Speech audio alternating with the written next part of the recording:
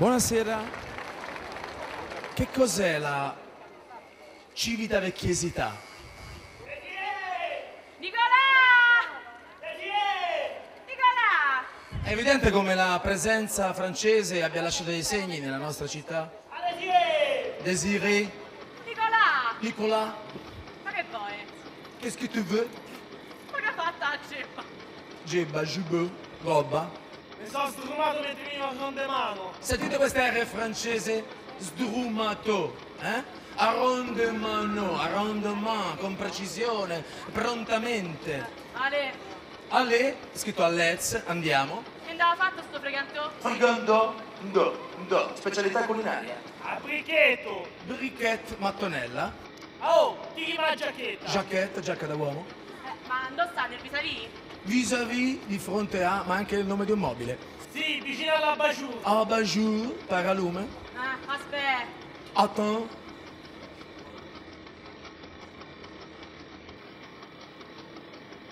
Che vuoi? Rien.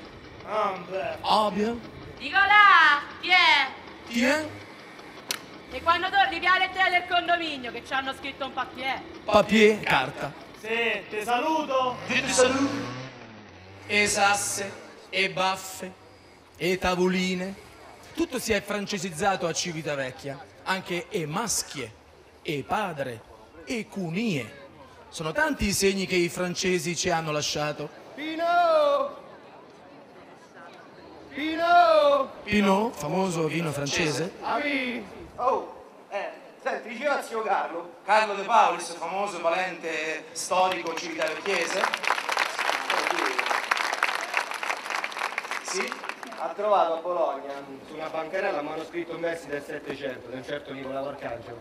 E parlate come i civitavecchiesi si sono ribellati al dominio dei francesi. Nicolao Arcangelo? Sì, Nicolao Arcangelo di Giovanni, una famiglia storica di Civitavecchia, veniva da Malta. Diceva zio che sarebbe bello metterlo in scena. Salve, io sono Valentina De Giovanni, una discendente della famiglia di Nicolao Arcangelo. Ma come ti sei vestita? No, c'ha ragione, sarebbe bello metterlo in scena. Racconta l'insurrezione del 1798-99 che fece uscire allo scoperto la solidarietà collettiva, la coesione di tutti i civitavecchiesi. Ma che state a dire? E dai, parli tanto di civitavecchiesità, meglio di questo, il recupero della nostra identità. Eh, Ma voi siete matti? Un assedio in, in abiti d'epoca. Guarda che è stato un periodo in cui si è vista la coesione di tutti i civitavecchiesi, che si sono dovuti organizzare per la difesa delle proprie mura. Hanno dovuto impugnare materialmente le armi e opporre resistenza, rischiando tutti insieme la vita. Oh. Ma poi scusa, una cosa in versi. Chi rilegge i versi oggi? Augusto Fornari. E là! Buonasera. Buonasera! No, no, no, no, no, no. Augusto no, no, no. Fornari. Eh, anche tu in costume, casualmente. Ma passavo qua io quando che vengo a Civitavecchia, mi vesto sempre così. Ah, ecco. Porco la parrucca e Per vento. Stavo leggendo sti 82 giornate di Civitavecchia e dico bello, se volete ve lo leggo qui. Boh, molto volentieri. Bene, finiamo questa farsa e cominciamo, che sarebbe ora, grazie. Bene. Allora, visto che tu sei mia parente, stammi vicina perché i versi che ho scritto sono belli, ma non bastano, ci vuole il contesto. Intanto, famo una premessa. Dalla fine del 600 Civitavecchia non dipese più da Viterbo, ma divenne capoluogo. E al posto di Vicencella, allora, su tutta la strada c'erano ancora le mura del Zangallo. Sì, ma intanto eh, che c'entra con i francesi tutto Eh, mo ci arrivo. Papa Innocenzo XII, fuori da quelle mura, fece costruire un borgo chiamato Orghetto. Ma invece di di ebrei, si riempì dei napoletani e la città crebbe. Ho capito, ma veniamo ai francesi. Pensate che dai 2000 abitanti della fine del 600 alla fine del 700, anche grazie ai napoletani, eravamo arrivati a 10.000. I francesi. Eh, mo ci arrivo, Eh, ormai... Che è successo? È successo che alla fine del secolo stavamo tanto bene. Fino a quando non è arrivato lo scossone di Napoleone Bonaparte che ha cominciato a conquistare tutto. Non isdegnarti, prego, mio signore. Il poema. Questo vil dono fatto da umil penna. Parto sortito da un sincero core, come più volte il mio parlarlo accenna. E con ciò seguirò il mio tenore del succeduto, non già sulla senna, ma come e il quando quei di Che Centocelle sarebbero i civitavecchiesi? fero il suo nome andar sopra le stelle. Già voi sapete quando Satanasso Napoleone? corrubbe il cuore di tutti gli europei e prima di tutti l'Italia in conquasso andette per piacere ai zebedei. Ai scemi, diciamo. Eh, diciamo, sì. Ma chi alla fionda vi ha allacciato il sasso lo scagliò col tal furia di babbei che tal feruta loro fece in fronte che il segno lo vedrà Caronte. Ma anche era arrivato Bonaparte che in tutta Italia cominciarono fenomeni prodigiosi riguardanti innumerevoli immagini sacre.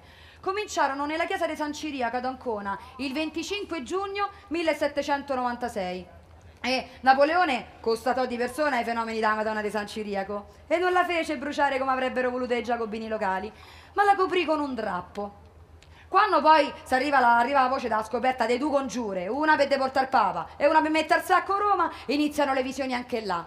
Tra il 9 e il 15 luglio a Roma, molte immagini sacre cominciarono a muovere gli occhi, emanarono lacrime e così anche in altre località dello Stato Pontificio, Ceprano, Veroli, Sant'Angelo Invado, Mercatello, Urbania, Carcata, Todi. Ehm, E anche Civitavecchia non fu da meno.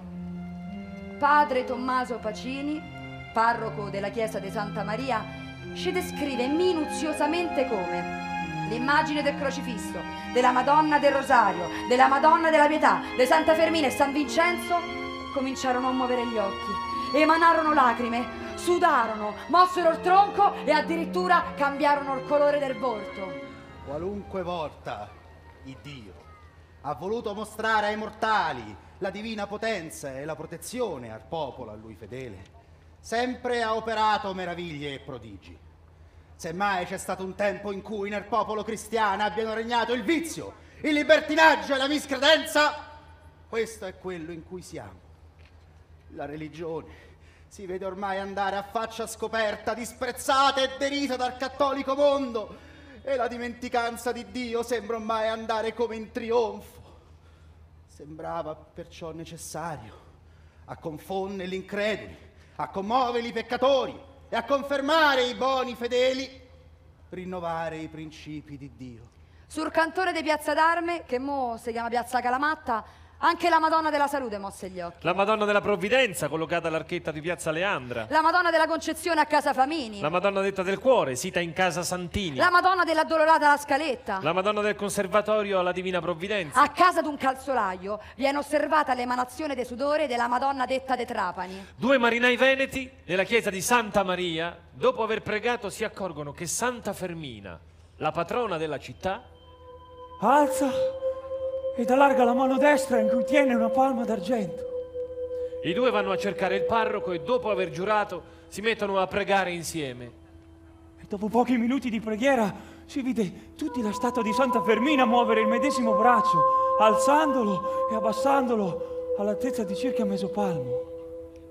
E quindi la mano sinistra in cui tiene una galera d'argento, alzandola e abbassandola alla medesima altezza di circa mesopalmo. Contemporaneamente si vide tutti nella santa un volto che l'era oltremodo gioviale, allegro, gli occhi movibili, scintillanti, che graziosamente si rivolgevano a tutti gli astanti. A questa vista tutti pieni di stupore gridano Viva Santa Fermina! Viva Santa Fermina! E queste grida, udite fin dalla strada, bastarono che in pochi minuti si riempì la chiesa del popolo. E tutti, tutti videro i movimenti delle mani, degli occhi e giù a pregare. Ma nonostante i prodigi celesti, il 17 febbraio 1798 Napoleone proclama la Repubblica Romana e caccia il Papa. A Civitavecchia, nel frattempo,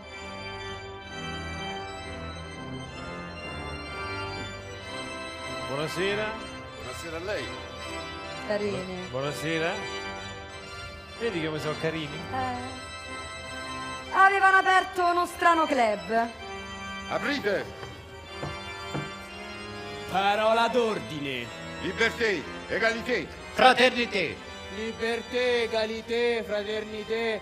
Voyage a tutte e tre. Ah, Sorarca, ma voi che siete dottore della legge, ma chi so quei matti? Sono i giacobini, cospirano per affermare gli immortali principi della rivoluzione francese. I giacobini. Sì, sono borghesi che rivendicano nuovi spazi politici e finanziari. Ah, Sorarca, ma quelli sono i più ricchi di Civitavecchia, proprietari terrieri, commercianti all'ingrosso, perfino il gestore da zecca, no, dico da zecca, ma che vanno cercando? E poi che vuol dire sto, sto liberté, egalité, fraternité, che è latino? Sì, è francese, t'ho detto sono gli immortali principi della rivoluzione francese. Libertà, uguaglianza e fraternità. Allora, si vincono i giacobini, siamo tutti uguali. I soldi dei Manzi e dei Brucitta saranno pure i mia. Eh, beata te, questa è una rivoluzione borghese, no? Del popolo. Ah, e perché per entrare lì dentro devono ripetere sempre le stesse frasi? Ma sono parole d'ordine, no? Eh, permettono di schiudere la loggia massonica dove è ubicata la loro sede. Ah, c'hanno sete. Mm. E ditemi un po', è vero che là dentro i giacobini se la fanno con una donna mezza nuda? È il simulacro di Marianna. Ah, se la fanno con Marianna. E che è quella romana che da qualche tempo da batte per i controfossi della scelta di Caterinaccia? Marianna è l'emblema della Francia repubblicana, le controfosse della scelta di Caterinaccia. È un'allegoria femminile. Eccola là, in veste di scinte, gonna corta, gambe scoperte, braccia e seno destro nudi. Eh. E poi dice che là dentro c'è sta un uomo brutto, l'antico romano. Ma brutto ci sarai te, bruto, no brutto. Bruto, si tratta del busto di Bruto nella duplice simbologia di Lucio Giunio Bruto che abbatté Tarquinio il Superbo e condannò a morte i propri figli che parteggiavano per il tiranno e Marco Giunio Bruto, figlio ed uccisore di Cesare. E me con gli ombri. Uno ammazza il padre, l'altro ammazza i figli. Tutta gente per bene sti bruti. Eccola, quanto è bella. Questa che for restò era la figlia per appunto del nostro mastro Cicco, bella in persona e di narcate ciglia, che fra le altre donzelle dava spicco. Era promessa in sposa a un parapiglio che per cognome era chiamato il Cricco. Che sarei io? Buongiorno, Trosì. So due ore che ti sto aspettando. Oh, l'hai da lasciare state, hai la- capito? È la mia fidanzata. oh. Ma cammina, a chi lo dica, la tua fidanzata? La mia figlia sa da sposare con un giovenotto che gli piace di lavorare, ha capito? E poi, da quando sti francesi col trattato di Tolentino sono venuti qui, si sono fatti da dar papa l'esclusiva del porto di Civitavecchia. E gli inglesi, vedi, qua fanno la spola per non far passare nessuna nave. E qua non si batte paglia!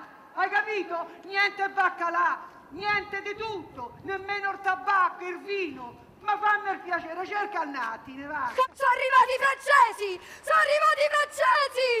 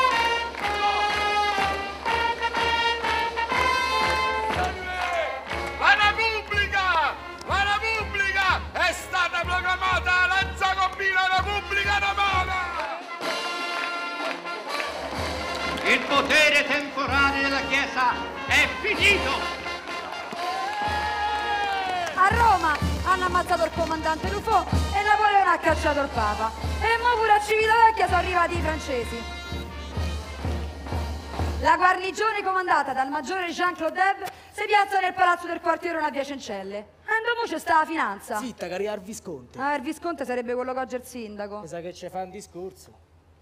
Cittadini, Il tirannico ed abrogato governo pontificio è finalmente caduto!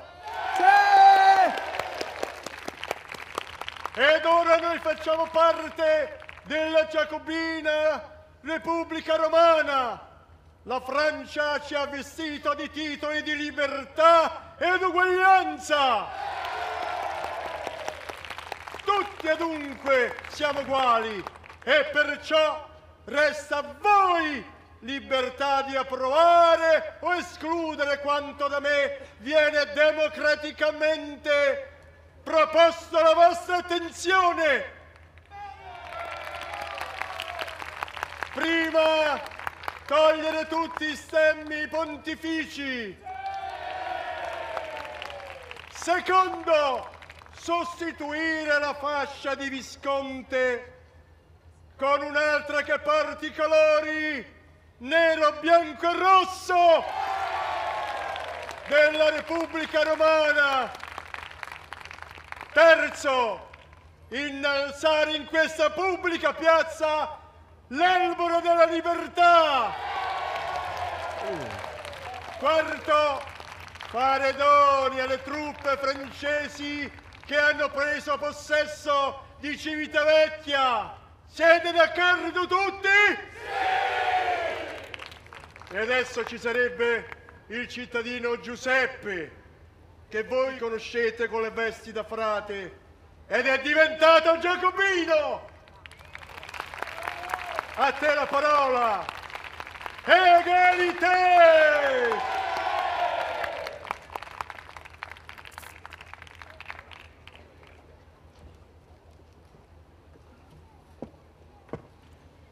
Ufficiali e soldati francesi, le vostre virtù maschie e repubblicane contrastano con le virtù timide e fantastique delle monarchie europee.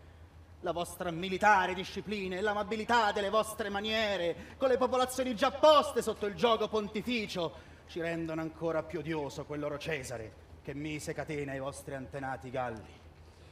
Per cui ripetiamo insieme. Credo nella Repubblica Francese una indivisibile, creatrice di libertà e uguaglianza. Credo! Nel generale Bonaparte, suo figliolo ed unico difensore nostro, egli fu concepito da grande spirito e nacque da madre virtuosissima.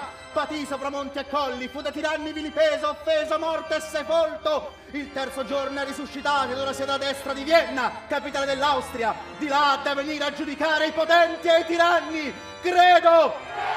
nella generalità della Repubblica francese, nel gran direttore di Parigi, nella futura pace, libertà e uguaglianza del mondo a venire. Credo!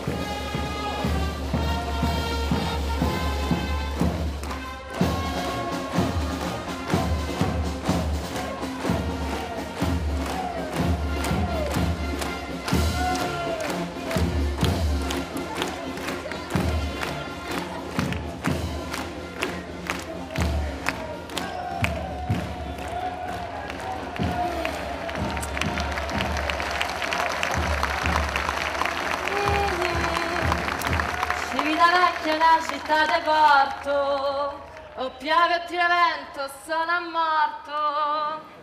Buongiorno. Sì, buongiorno e qua trova. Eh, non capisco, Putea. Oh! A me Putea non me l'ha detto mai nessuno, hai capito? Putea saranno le ragazze francesi, che hanno pure una fama. Non so se mi spiego. No, ma Putea significa signorina nel dialetto del mio paese.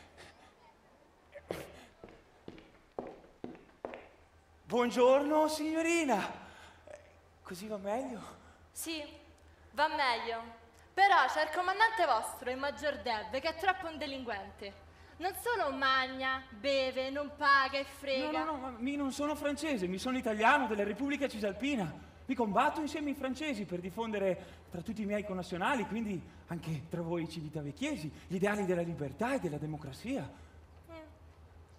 Allora, se sei italiano, ti voglio da dir tu. Come hai detto che ti chiami? Mi chiamo Alfeo. Alfeo. Che bel nome. Io mi chiamo Drusilla. Ma lo sai che sei proprio un bel giovanotto? Anche tu, Drusilla, sei molto bella. E che belle ciglia che hai. Come sei inarcate. Eh, lo so. C'ho l'inarcate cia. Pure il poeta me lo dice sempre. So contenta che ti piace. Perché a dire la verità, pure te non sei male. Drusilla, ti devo diventare la mia fidanzata. Ah, a me mi piacerebbe, ma tu c'hai intenzioni serie o ti vuoi solo divertire? Mi te giuro sul generale Bonaparte che ho intenzioni serissime. Mi te voglio sposare, ti voglio portare in viaggio di nozze a Parigi a vedere dove è stata battuta la Bastiglia, dove è stata fatta la rivoluzione. A Parigi. Ama! Orfeo mi vuole portare a Parigi! Alfeo! Vabbè, fa niente. A Roma cominciarono a parlare anche le statue che non erano sacre. Che tempo fa, Pasquino? Tempo dei ladri. Ma è vero che tutti i francesi sono ladri? Tutti no, ma buona parte. Ma i francesi non furono per niente liberali e democratici. E la nuova Costituzione giacobina declassa Civitavecchia dal ruolo di capoluogo e la subordina un'altra volta a Viterbo. E i francesi se fregano tutto, ma proprio tutto. Dalle chiese si sono portati via opere d'arte, statue, ori, argenti, paramenti. Hanno fatto morire destenti pure Papa Pio VI in esilio in prigione a Valenze. E 70 marinai di Civitavecchia furono imbarcati sulla flotta francese per la sfortunata spedizione di Napoleone in Egitto.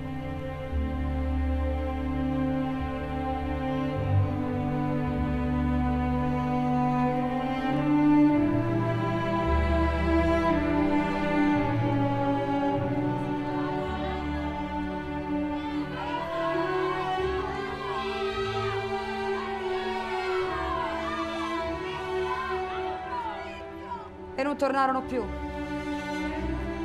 Morirono tutti e 70. Tutta la città è lutto. Già da gran tempo il Franco possedea la florida città che al mar risiede e il tutto in buona pace si godea, che ciò dava ognuno la sua mercede. Ma la region detta partenopea sconvolse il tutto e qui la buona fede infra di noi si ruppe e quei di fuori e l'origine fu d'alti clamori. Aspettate, Sor Mae, che voi scrivete in versi, ma noi capiamo in prosa. Mentre Napoleone si trovava in Egitto con i marinai nostri, l'ammiraglio inglese Orazio Nelson, che si trovava a largo di Civitavecchia, convince il re di Napoli Ferdinando IV a rompere il patto di non aggressione e a marciare sullo Stato Pontificio. Anche perché se la faceva con la moglie dell'ambasciatore inglese a Napoli, Hamilton, Emma. E così i francesi scappano portandosi via la cassa del comune. Pure le stoviglie d'argento messe a disposizione delle mense ufficiali si sono portati via. Cioè, scappano. Prego, Sor Mae. Era ormai l'ora nona e già ridotta sulla gran piazza tutta nostra gente per vedere la partenza dei soldati che fuggivano come disperati. Il volgo insano a tal fuga si crede che per timor facciano tal partenza e perciò in un momento il timor cede alla lor furia per vana credenza.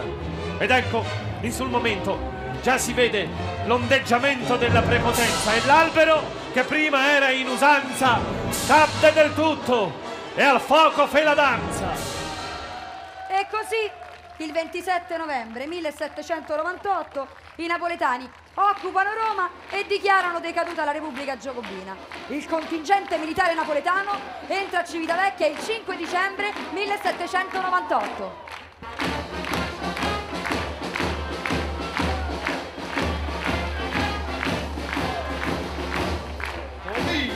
Obi, obi, senza obi, obi, senza obi, obi. Sì, sì, obi e senza obi, l'avete capito bene, l'avete capito. Poiché siamo un esercito di ignoranti, non conosciamo la destra dalla sinistra, loro ci hanno legato una fettuccia al polso sinistro, appunto il pillo. Vengono ripristinate le insegne pontificie e organizzati festeggiamenti per tre sere consecutive. Capirai Gorghetto pieno dei napoletani. E mo, facci il mammuino! Tutti quelli che stanno a prora vanno a pop! E tutti quelli che stanno a pop vanno a prora! Tutti quelli che stanno a dritto vanno a sinistra! E quelli che stanno a sinistra vanno a dritto! Tutti quelli che stanno in coppa vanno a basso! E quelli che stanno a basso vanno in coppa! Passano tutti quanti per lo stesso percorso!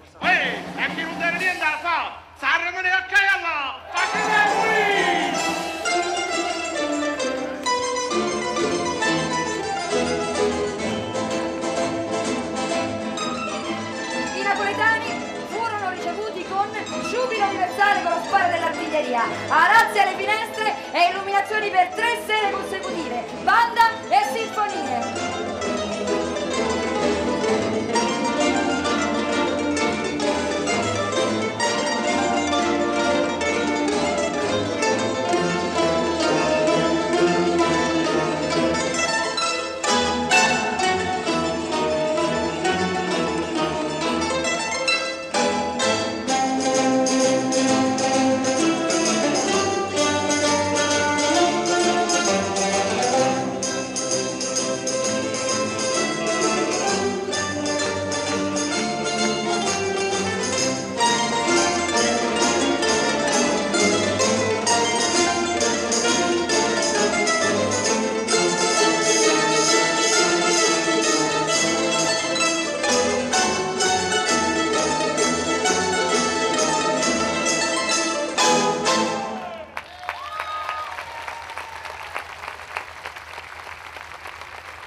E tosto si pone un ordine alle cose pubbliche.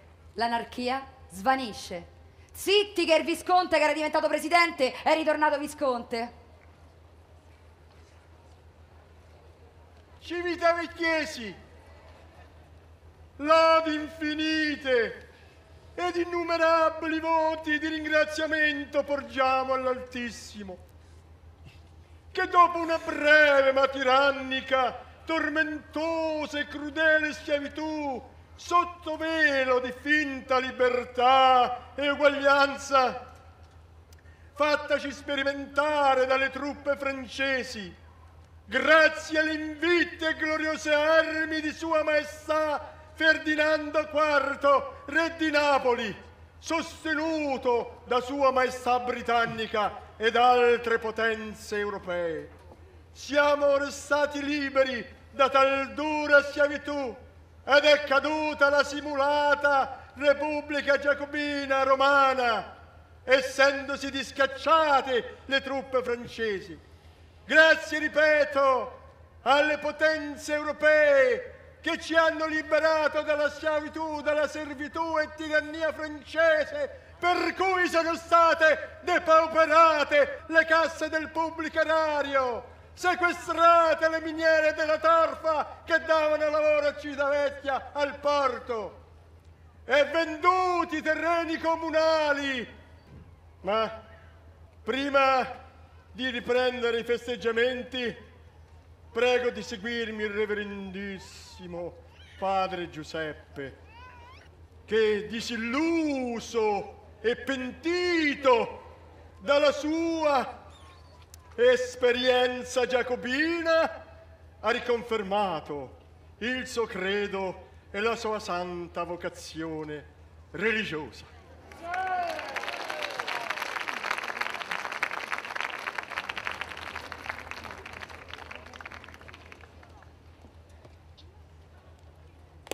Civitavecchiesi carissimi, libertà e uguaglianza furono sempre le armi più efficaci che usarono i malvagi per rovesciare i regni. Lucifero, che è il padre e l'autore di tutte quante le rivoluzioni, nessun'altra ne usò per sedurre e indurre alla ribellione la terza parte degli angeli. L'esito felice che quelle parole ebbero col primo uomo Adamo e con l'angeli belli poi, persuase Lucifero che un'egual sorte avrebbe avuto nel rovescio di ogni governo.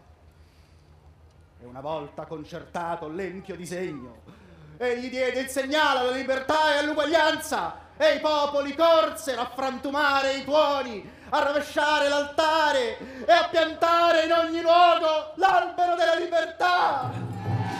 Figuratevi allora di aver veduto il dio del mosto con i suoi baccanti, ovvero di Babilonia, il film compiuto col mutar la favella a quei furfanti. Per cambio del linguaggio del Babele. Chi voleva l'arrosto, chi il brodello e intanto si accresceva più il bordello.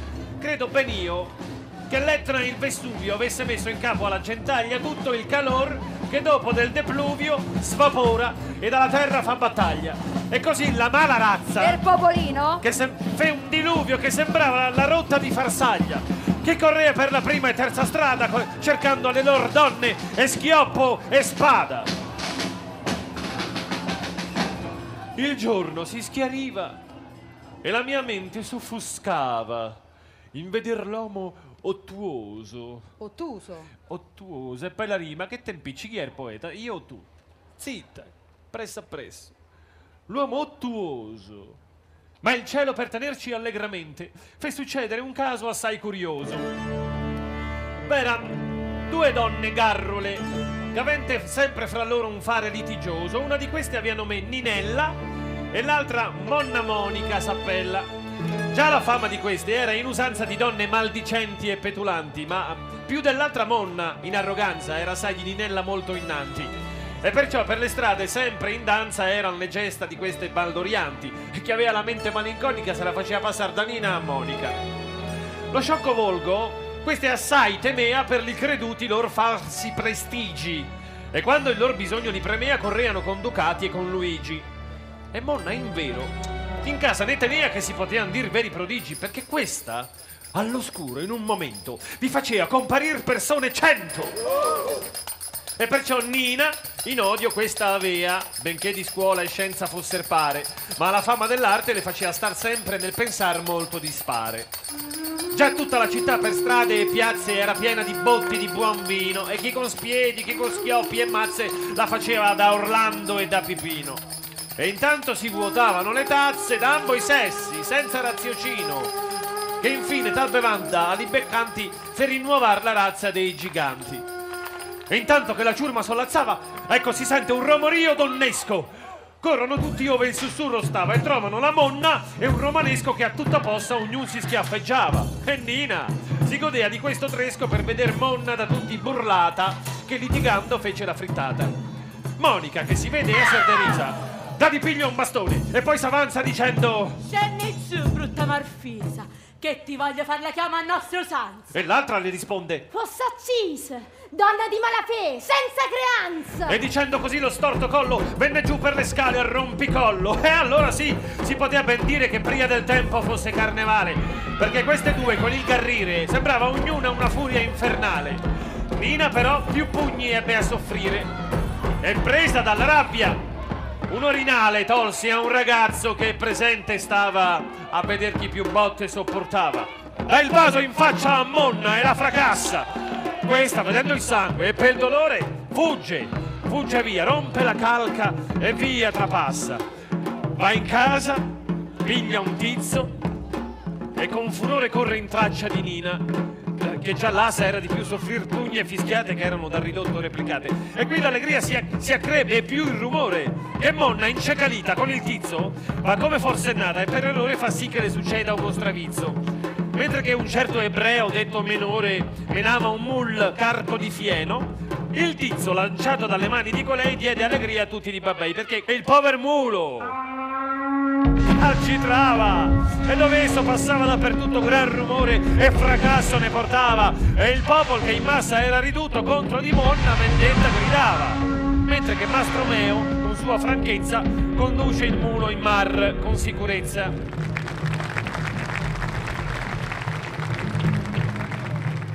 Così finì di Monna la faccenda.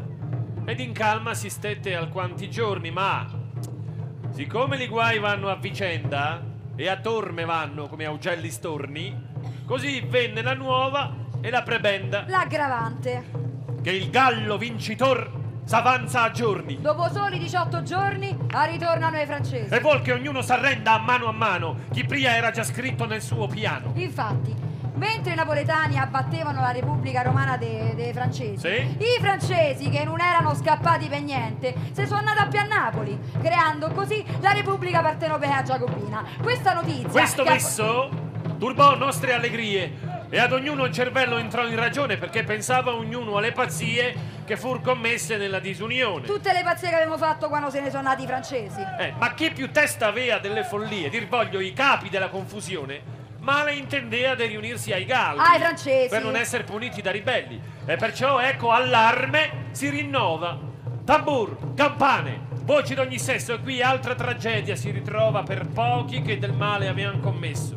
Ma il cielo volle darci qui una prova che a pochi credo ben l'abbia concesso, di avere in quell'istante sostenuto cose che io scrivo e non sarò creduto. Qui tutti i miei pensieri chiamo a rassegna.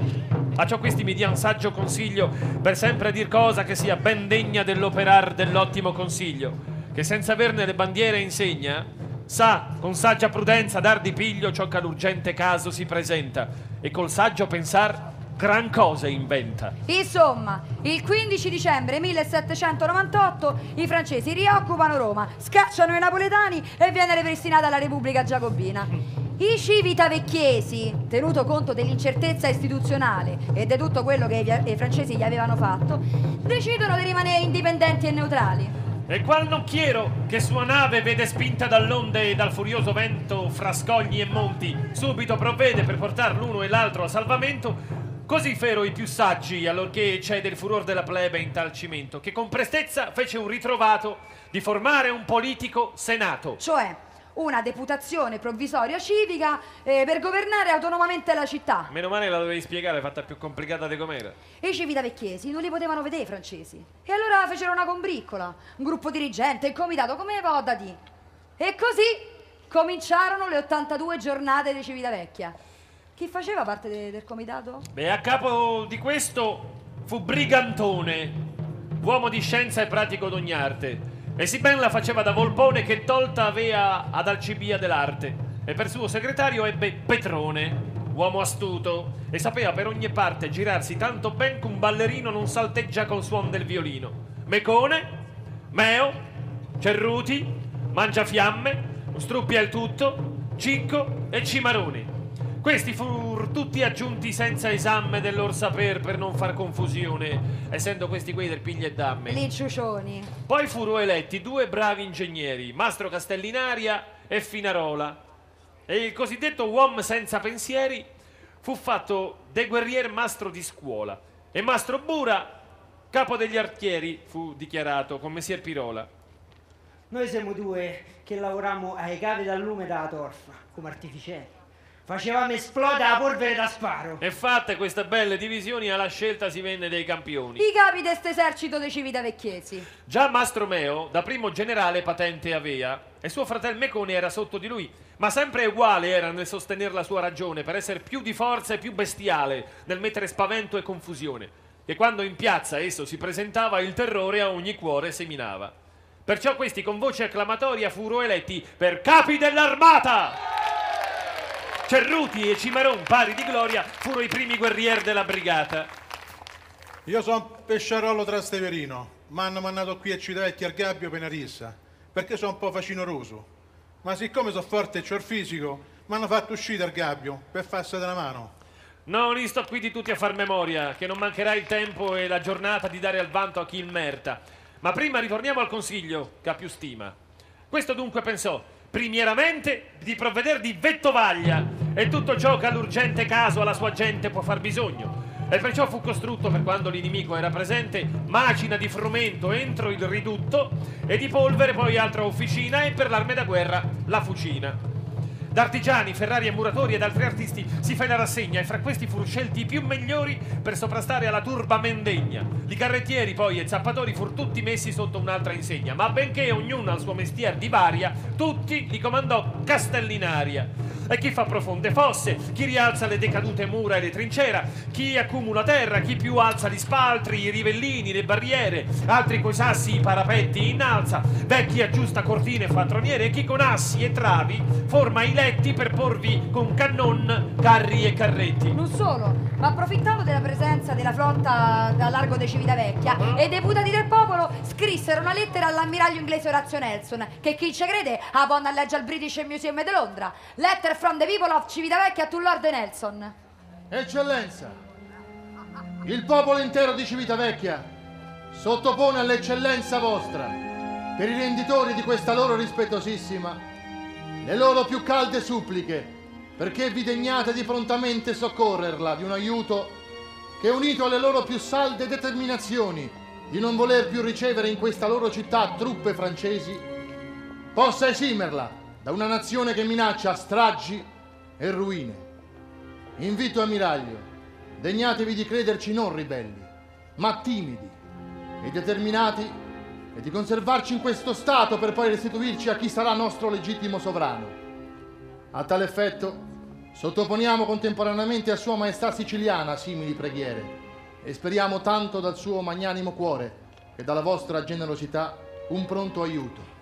Giacché dalle ostilità da noi interposte tanto contro i francesi che contro il governo pontificio altro mezzo non vediamo, o quello di ottenere gli aiuti implorati o restare vittime delle sopra espresse minacce, mentre affidati alla efficacissima e validissima vostra protezione, ci diamo l'onore di rassegnarci. Ma gli inglesi e i napoletani non ci poterono aiutare e dovettimo fare tutto da soli. Credemi pur, lettore, che se veduto avessi in quelli giorni la destrezza con cui fu fatto il tutto, senza aiuto di man straniera, ma con la prontezza d'animo di loro stessi, e fu compiuto il lavoro, che tu con sicurezza avresti detto che questi erano quelli che di Babele, Fermura e Castelli. La cosa bella fu che questa rivolta dei civitavecchiesi provocò gravi e immediate ripercussioni a Roma, che si trovò così bloccata la via più importante di rifornimento del grano. E ci credo, il grano stava accumulato tutto qua a Civitavecchia e per colpa di sti civitavecchiesi a Roma ci fu una grande carestia. Gli ortaggi andarono a prezzi che non si sa, ma soprattutto ci fu penuria di pane, famiglie rimaste prive, folla ai forni, liti, uccisioni, un macello si sentivano per strade ragazze e bambini gridare pane, pane! I forni a Roma rimasero chiusi per 15 giorni. C'era Mar contento. E allora da Roma i francesi Pronti mandaro messi soprammessi con pacifiche istanze e cognizioni. mandarono Manzi e Chiassi e Giacobini a fare pressione sui civitavecchiesi. Ma quel che in capo mai giusti riflessi ebber, pigliaro questi per buffoni? Ecco.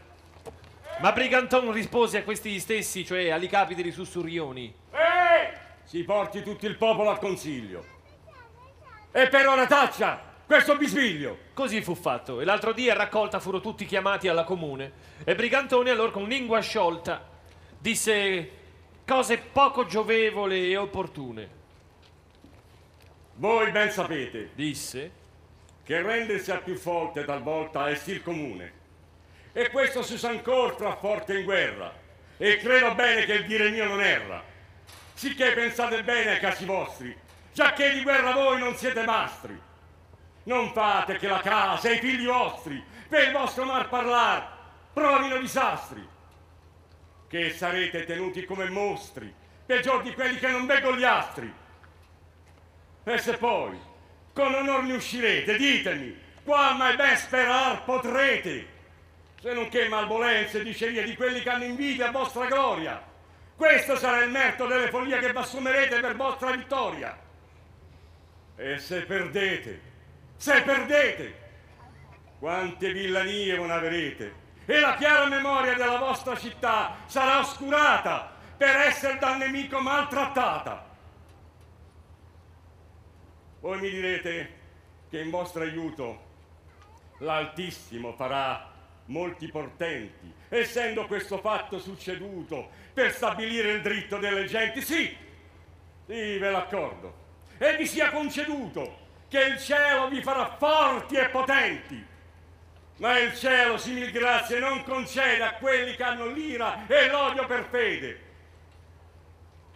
Badate, ben torno a dirvi. Non abusate di simili ragioni dicendo che il cielo può più strada aprirvi per farvi superior nella tensione. Questo il farà se voi ben custodirvi saprete, con sincera e santa unione, che se da questo vi dipartirete, miseri, quanti oltraggi soffrirete.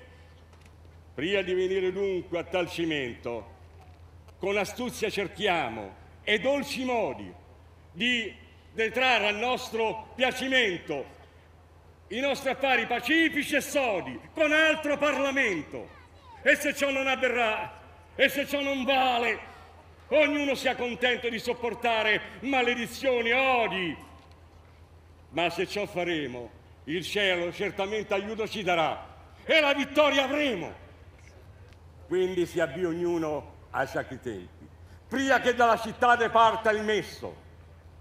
E si ricorda ognuno gli antichi esempi, che l'arte in tele e marmi ci comparte. Rimase a un tanto ragionar l'udienza, in sul momento tacita e confusa. Da più vecchi e la prima adolescenza, fra sospiri e le lagrime era intrusa. La gioventù, però, senza pazienza, che nei cementi non conosce scusa, rispose a Briganton con gran furore. Tu sei Giacobbe Che sarebbe Giacobino. e la fai da dottore. E se mai credi con tue finte ciance metter spavento, vivi in grande errore. Noi qui non siamo già con scudi e lance, ma col cannone, compagno del terrore. Perciò in egual peso si bilancia, a ciò niun perda il suo giusto valore, altrimenti tu puoi lasciar l'impresa, se vuoi che sia la tua persona illesa. Noi siamo qui tutti d'un pensare, e cioè di non voler qui guarnigione di qualsiasi nazione militare per non venire con questi alla tensione. E da noi si sapremo ben guardare. Quando un sol capo mandi la nazione, e se questo ci avrà ben conciliati, noi gli saremo sudditi e soldati. Altrimenti si annulla il tuo consiglio e non serve mandare ambascerie. E qui ne nacque un generale bisbiglio, quindi si venne a forti dicerie perché molti volevano dar di piglio a quei che con pastocchi e furberie volevano che la piazza e la fortezza si dasse in mano al Franco con prontezza. E Franco sarebbe sempre lì francesi, eh? E fu concluso, fu concluso di mandar due messi al console romano, con tali istanze di essere tutti quanti sottomessi, ma non vogliono soldati alle loro stanze. Già io su questo feci altri riflessi, perciò lasciamo ir queste iattanze e diciamo di quei che furono mandati al console roman come legati. Petrone, il segretario, il primo eletto fu di questa solenne imbasceria e l'altro fu Mecon, come ho già detto che era capo della ciurmeria. E questo fu mandato per sospetto, per timore che Petron, con maestria, non ingannasse il popolo. Ma questi E il popolo? eh, furono di lui più assai veloci e lesti. Giunti che furono i messi al consolato, accolti furono come si conviene a persone mandate da un senato che la forza e ragione in mano tiene. Perché ricordiamoci che a Roma, per colpa nostra, stavano senza grano, affamati. Fu primiero Petrone a ragionare, il quale si diffuse in dolci modi, perciò lo stavano tutti ad ascoltare e ne ebbe dal senato molte lodi. Ma non piacque a Mecone questo fare, e disse in alta voce ed aspri modi. Tu non dici, oh Pedrone, a questo il vero. Ma lascia parla a me, che son sincero. Attoniti restarono tutti quanti nel sentire in quell'uomo tanta arroganza. Eppur si contentarono i circostanti che sto facesse la dovuta istanza, ma quando ebber sentito ciò che innanzi fu detto, si perdette ogni speranza di ridurli all'ovil senza la guerra. E perciò con tal dir si intima guerra. Rispose il Franco. La vergogna è nostra!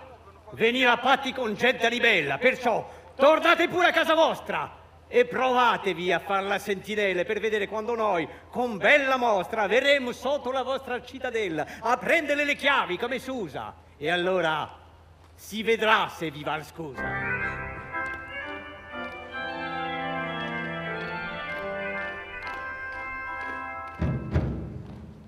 Così furono i messi licenziati.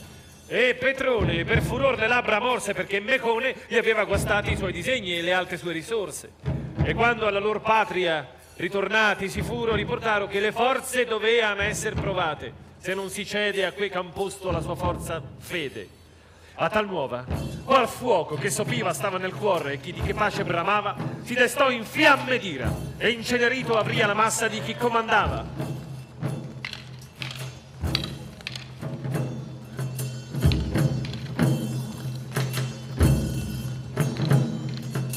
Se un altro caso non fosse seguito, che niuno in questo tempo l'aspettava. Ehi! In porto giunse più d'un bastimento carchi di vino, d'olio e di frumento.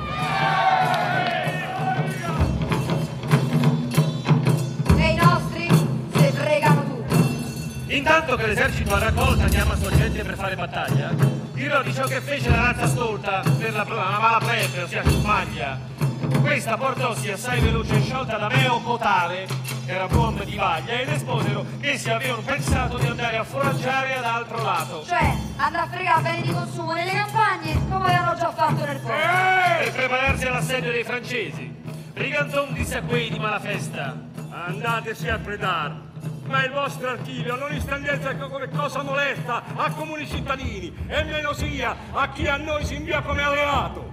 Ciò detto, gli sgherri tre con suoi simili, che erano almeno al numero 300, dalla città partirono. E non già i vidi restarono sulle mura in guardimento, ma questi pure erano di umore e stili simili a quei che a risse da cimento pronti sono ad ogni cenno e a chiamata, e pronti a fomentar rissa impensata.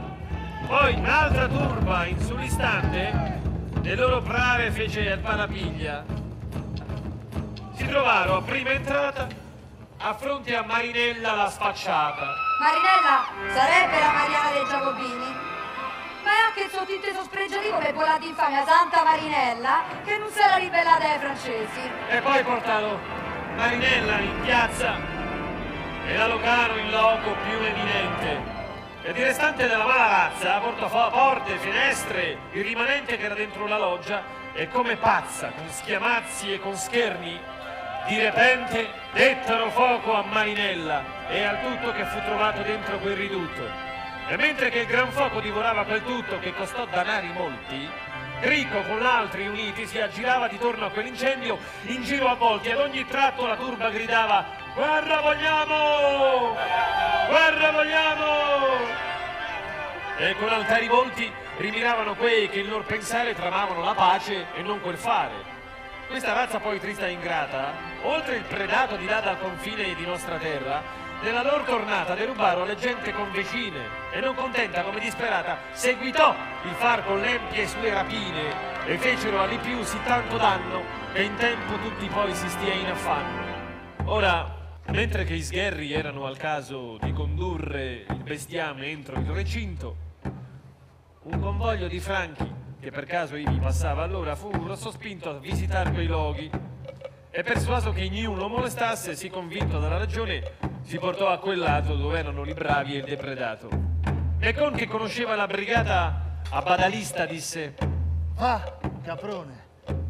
Questi sono franchi.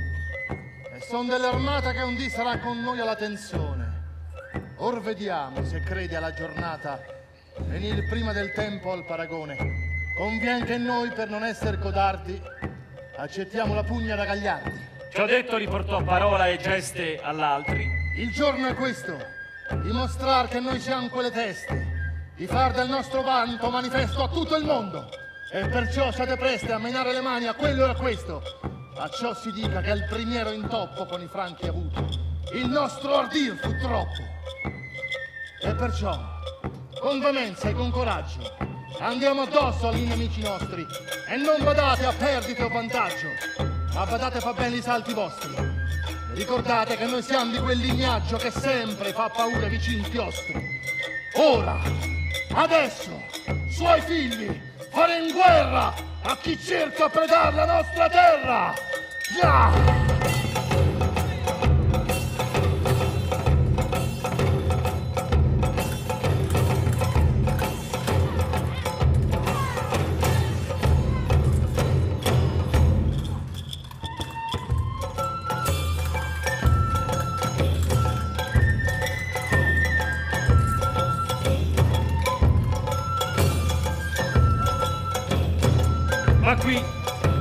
La sorte ad ambedue le parti fece una burla che a tutti fu propizia. E mentre il furibondo e fiero Marte portava ardire ai nostri alla milizia, l'aria oscurasse e il giorno a quella parte disparve. Scefune glisse. E a combattenti da mestizia, per non potersi fra di lor vedere e mostrare il valor del lor potere. E con impito e foga in quell'oscuro foraschi andaro, E chi trovaro a fronte a terra fu gittato, e chi sicuro onestà da tale incontro ascoso in monte, stare doveva dietro a forte muro, perché altrimenti le sue forze pronte non erano bastante a sostenere l'impito dei furenti e il lor potere. Chi stava sulle mura, che sentiva il calpestio, il rumore, il fracasso, certo che gran doglianza ne soffriva perché credea vedere un grande ammasso di morti e di feriti. Quando usciva di nuovo Febo, Ersole. che si prese spasso in quel dì di nascondersi allora quando i franchi e i nostri avevano in mano il brando. Ma non crediate che già che il vile e forte Franco ne andasse dalla ria tenzone, ma quasi tutti, per vie dritte o storte a terra andaro, eh, per lor confusione. E chi si ruppe il capo, chi nel viso si fece un sfregio, chi nel naso ebbe inciso. E ritornato il giorno a quella parte, a tutti parve un sogno quell'impresa. Mentre che i franchi con malizia o d'arte non erano più a fronte alla contesa, ma s'eran dileguati. E il fiero Marte, che quella zuffa si credeva accesa, al comparir del giorno anch'esso lui si trovò corbellato come nui. Ma non per questo il capo di brigata Megone, dico, perdè lena e coraggio, anzi, con voce altera, una parlata fece a tutti i suoi di un tal tenore, dicendo Amici, questa è la giornata che in parte ci fa danno e in parte onore, mentre che con i visi deturpati all'oscuro i nemici abbiamo fugati. Se tanto adunque abbiamo fatto al primo scontro con i franchi avuto, ditemi adunque. In altra impresa ho dato, farem di più già il fatto è conosciuto. Dunque coraggio. E chi non è fia, tratto dalla nostra congrega. E quel tributo gli si dia che conviene a un uomo inetto, e cioè di star con donnicciole in letto. E seguitò dicendo Non vi spiaccia di aver perduto il meglio del bottino. Non mancherà occasione che a noi ne faccia trovar preda migliore. Mentre il destino, insieme a sorte, spesse cangia faccia. Perciò non state così mesti e a capo chino. Io penserò con stratagemma ed arte di acquistare il perduto ad altra parte. Questo parlar di Meco, altro vigore diede di nuovo a tutta la brigata, che la detta, per dargli gloria e onore, da vincitrice fece la sua entrata di nuovo alla città, che con clamore ed allegria dagli suoi venne acclamata, solo di tamburi e altri strumenti, vennero accolti i nostri combattenti. Reo, come capo e di me confratello, per ingrandir la cosa, fe adunare tutti i bravacci in piazza, ed in trapello avanti a sé tutti li fe schierare.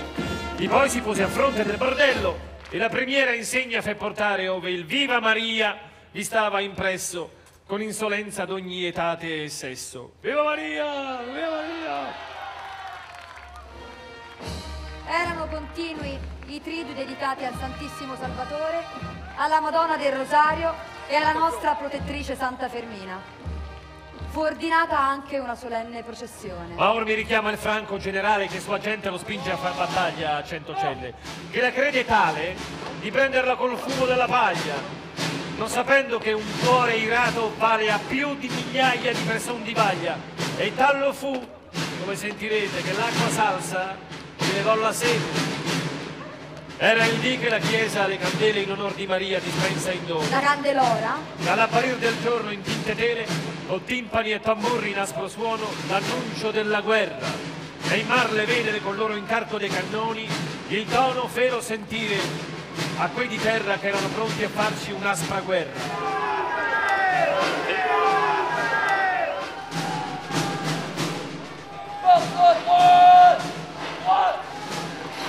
Pieno d'arroganza in sulle mura stava adunato tutto il popolaccio. E il sesso femminile con stride e pianti cercavano di calmare quei caceroni, ma quei da sulle mura, da arroganti, dei messi non voleva sentir ragioni. Anzi, con scherni li spingevano avanti quasi che fossero stati due buffoni.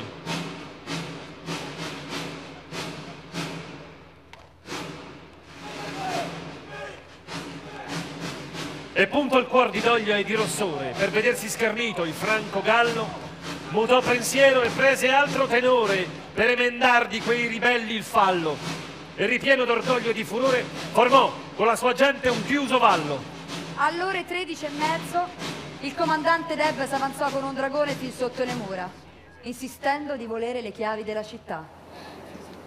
Che fate? Civita Vecchieri! Fatele! Guardate bene a salvarvi! Via! Se non buttate il parere, pianeremo le mura! Intenderemo le case! E da morte condanneremo gli abitanti! Riguremo paesese! E questo luogo ha un cumolo di sate! I civitavecchiesi, non potendo più sopportare questi insulti, fecero fuoco contro di lui con colpi di fucile. E il comandante Dev restò ucciso col dragone.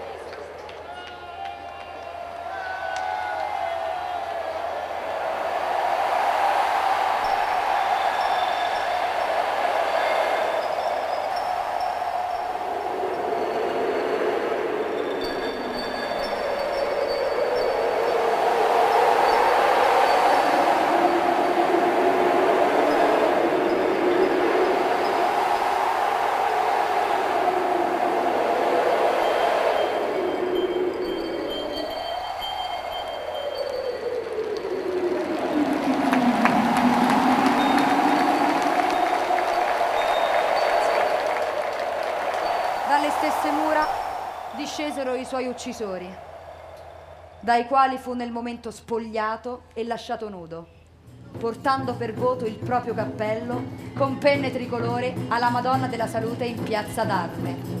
I più vecchi, i più buoni, quei di senno, stavano qua al Geremia, chiusi in prigione, vuol dire alle loro case, pronti al cenno di Mastro Meo come capocampione. E quei che erano privi di loro senno, eh, givano a dar di cozzo al boccalone, sicché in chiesa e in casa verrà il pianto, e per le strade e piazze il riso e il canto. Ed ambedue gli eserciti alle mani si vennero, con schioppi e con squadroni e con tonanti bronzi. I più lontani difendevano i loro prodi campioni e framischiati come fieri cani corsero contro i nostri caporioni Mecone e Meo. Perciò l'ira di questi raffrenarono co suoi molto più lesti. C'è da dire che gli ebrei civitavecchiesi Menore, Zarino e altri si schierarono con i francesi, perché la nuova Costituzione giacobina, al contrario del Papa e dei francesi, gli aveva concesso a... eh, I diritti I politici. diritti politici, qua la famosa egalité. Così Menore, Ah, appunto ebreo. quando vide Meco contro della sua gente far battaglia, gli corse addosso e non col caduceo. Qua la bacchetta di mercurio dei farmacisti. ma con la spada che tutto sbaraglia. E qui tra essi due se la vedeo. Che se il corpo premier menor non sbaglia, Meco in quel dì avria mutato stato e avria perduto il suo generalato.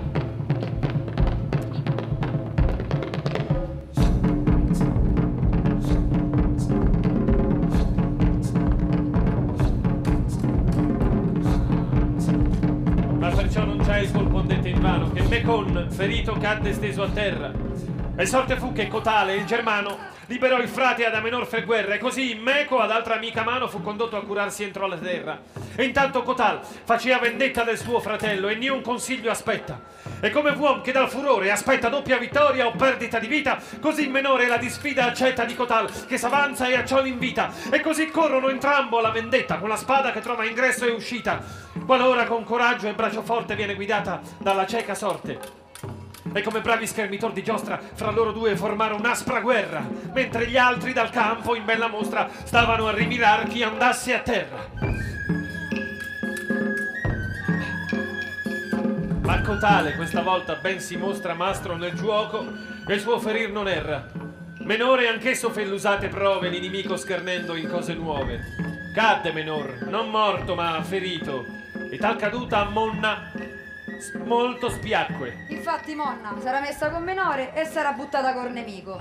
Vien qua, brutta carogna, nata da gente vile e disperata, che innalzata ti fe con la menzogna e derubata la patria a te affidata. Ma verrà il di che tu e tutti tui, pagando dovrà ciò che rubasse altrui.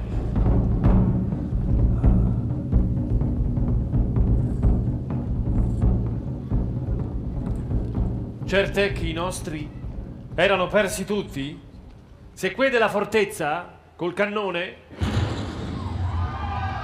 non tenevano lontano dai ridutti gli inimici giurati di Mecone. Sempre i francesi. Così ambe le parti, malcondutti, si ritirar dalla feral tenzone, a curare i feriti egri e languenti e a interrare i trapassati e i spenti. Tregua! Tregua! E di tregua si fece un concordato. E pur con questo a donne fu permesso andare a cogliere erbe a un vicin prato in quei giorni di tregua. Però il sesso che la fede non serva al concordato s'allontanò del più che fu concesso di ciò che al giusto arcano ricercato. E questi, traviati i loro passi, fero rompor la tregua ai loro spassi. Eh, il sesso fammi tregua. Eh, perché un giovane Alfeo, Franco, nomato, vedendo donne alle campagne sparse, giovane essendo di bellezza ornaso, d'amoroso pensiero il suo corarse. Ma quando videro quelle il soldato, per essere di forza e se non scarse, si diedero alla fuga. Ma di queste una restò, che fe quell'altre meste. Tanto più che sapevano che questo spasimava d'amore per Drosilla. E per essa Drosilla sta tutta la città mesta e dolente non sapendo sua fin. Ma ella stessa fu nel vagare troppo negligente perché dalle compagne da per essa si distaccò e andette dolcemente ove Alfeo con piacere rimirava colei che inavveduta adesso andava. E se, inavveduta. E vabbè, mo io che dovevo scrivere. eh. Che quando se la vide a sé vicina, a nome la chiamò. Drusilla! Che la confusa voltossi, che a vedere la meschina il soldato nel pianto restò intrusa. Mm, Vabbè, ma, sì. Ma quello con dolcezza a Drosillina disse: L'error perdona e dammi scusa, essendo la cagione di questo fatto il ben che ti volea da lungo tratto. Replicò poi. Rosilla, perdona l'error mio, ma non essere ingrata ai miei preghi che, se tu fai contento il mio desio, mai grazie dal mio cuore a te si neghi. Perciò altro non voglio e non desio, senza altro dire, senza che mi spieghi. Io vuol dire che un tempo amando non fui amato. Ora è l'ora che siamo soli al prato. Sentendo un tal parlar, la giovanetta gli rispose con voce timorosa. Io decider non so. Perciò, Soletta, lasciami andare da quei che non han posa, altrimenti faranno di me vendetta. E di mia casa cor sta dolorosa, pensando ch'io da lor sia fuggitiva, ovvero del nemico sia cattiva. Cioè prigioniera. Perciò, se pensi come ora tu dici, tempo non mancherà se sorte vuole di renderci fra quei detti felici da color che hanno in capo delle fole. Perciò ora non diamo ai tuoi nemici occasione d'ira per scarse parole, che vedendoci uniti a Parlamento crederanno a parole con gran stento. Dunque, prima che noi siamo avveduta di quei ansiosi, stanno sulle mura aspettando la mia fine. Tu rifiuta mia compagnia ed io pronta e sicura andrò a casa, d'erbe provveduta. Ma avveduti del fatto, ognun corre ove l'armi per poco mi a riposo. Cricco, come vento che a forza vien respinto dai rifei, sortì con suoi le porte e senza stento assaltò il Franco insiem con suoi trofei. Primier di tutti cadde prigioniero Alfeo e Cricco e suoi afferraro quel tale e lo mandaro con Ammeo per buona presa. E poi fe porre in oscura prigione il reo e la Drosilla in altra parte per giudicarli dopo la questione, per vedere se essi al tradimento han parte.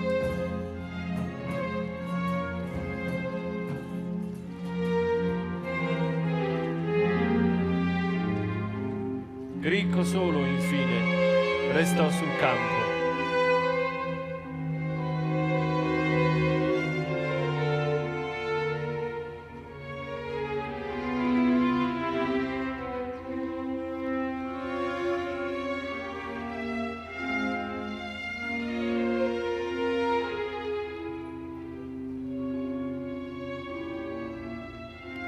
La situazione era diventata talmente grave e recuperabile che i francesi mandarono rinforzi, tanti rinforzi, più di 3.000 soldati oltre quelli già presenti fuori le mura comandati dal generale Merlin. Con sdegno Merlin, all'apparir del giorno, chiamò a consiglio tutti i capitani, uniti a quei che a lui stavano d'intorno, per ritrovar di guerra nuovi piani. E così disse ai suoi: O che il contorno, Le mura de Cinta, che esso ti tiene da ora assai lontani, in pochi dì del passeggero sia la via del pianto, ovvero dell'allegria. Così la credo. E voi, miei figli amici, dal cuore sbandito di pietà per essi, Altrimenti costoro per i felici auguri e per loro prosperi successi che la sorte li porge, noi infelici faranno. E qui vivono altri riflessi. Perché se questi avranno di noi vittoria, il mondo avrà di noi scarsa memoria. E perciò soggiungo a voi con pena al cuore che ognuno si presti pronti alla grande opera, prima che altri italiani un tal terrore sappiano. Perché? Se in giro per l'Italia si a sapere che i civitavecchiesi hanno vinto sui francesi, e per i francesi è finita. E perciò noi compimo l'opera in ciò che al loro danno e al nostro onore può essere pria che altri sottosopra si mettano e se noi, noi, noi non faremo ciò, con sacchi volti a casa torneremo. Così il duce parlò, che era Merlino, uomo docile e pien d'umanitate, bravo guerriere, famoso paladino, benché in quel dì sbagliò le sue pedate, ma l'onor lo, lo ferì gir fuor di cammino, in quel dì che voleva diroccate le nostre mura e dare il sacco e il fuoco alla città che lo temesse poco. Viva Merlino, viva la Francia! Tutti quei del consiglio un tal parlare acclamaro e prestaro giuramento di doppia fedeltà per ciò che fare si doveva col tempo e sul momento, dicendoli Noi siamo pronti a aspettare, ovvero accelerare il gran cimento. Tu disponi e comanda, e noi da forti andremo incontro a vivi come morti. Ma un certo Ferraù, uomo bestiale, Sozzo traditore, che grado aveva da primo capitano, da milizia civica, il nostro farlo prese tanto a male che voleva lì per lì seguire il piano. Ma il general con l'altri l'animale cercarono di placar, ma l'inumano, Ferraù? inteso sempre alla vendetta e al sangue, qual fier leon che se ciò manca langue. Ei, con gli occhi sparuti e la bratese rispose al duce, Questo non conviene, di lasciar questa gente non cortese senza recarli danno. Perciò tieni a mente ciò che io dico, e non la sbaglio, che piaga già corrotta va un gran taglio. Sicché, prima che il sole dall'occaso faccia ritorno a noi in ver l'Oriente, De notte? diamo l'assalto.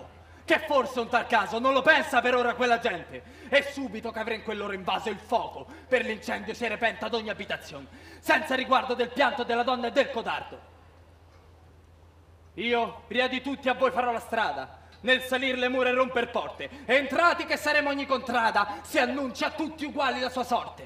E se lo schioppo sbaglia, sia la spada che li conduca pria del diara morte. E se forse per noi era il mio dire, sarà per noi ancor gloria il morire. Rispose a questi detti il proprio duce. Sì, bella è morte quando vien da gloria, ma la morte due effetti all'uomo produce, per li due effetti che fa la vittoria, perché se l'uomo a morte si conduce da forte e giusta, allora la memoria si terrà adesso, ma se muore quel brutto, il titolo di grande avrà perduto. Dunque, Prima venire a queste imprese, esaminare le forze noi dobbiamo, per non andare qua all'orbi alla contese senza sapere ciò che noi facciamo. E perciò bisogna avere la vista intesa all'alte muri che salir dobbiamo. Munite di ben grossa artiglieria, disposte con saggezza e maestria. E quelle mura sono ben guardate da gente disperata e non da quelli che per una ricotta abbandonate ebbero le mura come fulcinelli. E un tal parlar del duce, credo in petto di Ferraù si dilatasse il core in vortice di fuoco, mentre il detto con aspra voce replicò al tenore del duce e pieno d'ira e di dispetto gli disse Tu ti credi, oh mio signore, tenerci come femmine accampate, a fronte a gente vile e disperate? E dico questo perché tu mi dici che queste sono persone di gran cuore, dunque diamo la vinta agli nemici col voltare le spalle al loro furore. Ma se guerra tu fai, tuoi pregiudizi lasciali a parte e bada al mio tenore. Vuoi dir che acceleriamo l'alta impresa e qui abbia fine la feral contesa? Altrimenti io da qui faccio partenza e ne ritorno alla mia guarnigione. Andrò dal capoduce alla presenza per fargli mostra della mia ragione. E se ciò non mi va l'altra licenza, cercherò avere la dimissione. Basta, la vada come che la sia. Non stando qui, non anderò in pazzia. Spiegherommi più chiaro a ciò che tutti voi intendiate il mio dir libero schietto. Voi aspettate coglierli i frutti quando son secchi e non sull'alboretto, meglio dirò, quando quelli ridutti si sono a riscaldarsi sotto il tetto per non conquistar sopra le mura questa vittoria, senza l'avventura.